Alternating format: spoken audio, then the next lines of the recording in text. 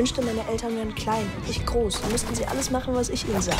Das willst du nicht. Wir suchen Direktorin Schmidt-Gössenbein. Oh nein. Diese Stellbad will die Schule übernehmen. Das lassen wir nicht zu. Sie sind auch geschrumpft? Ja.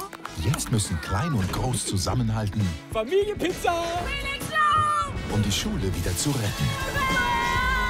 Hilfe, ich habe meine Eltern geschrumpft. Ist ja ekelhaft. Im Kino.